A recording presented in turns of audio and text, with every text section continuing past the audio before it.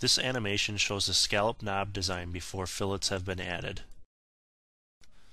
Notice that all features large and small have sharp edges and corners that are not desirable in a die casting design.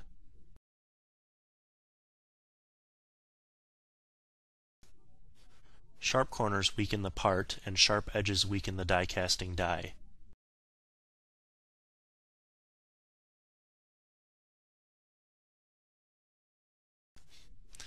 After adding fillets to the part, all the sharp corners and edges are eliminated, resulting in a stronger part and die casting die.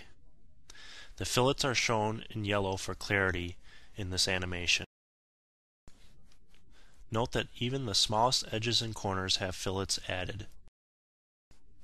If observed closely, one sharp outer edge is still present. This is the parting line edge which will be discussed in the next module on parting lines. For more information, click on the Advanced Information link below.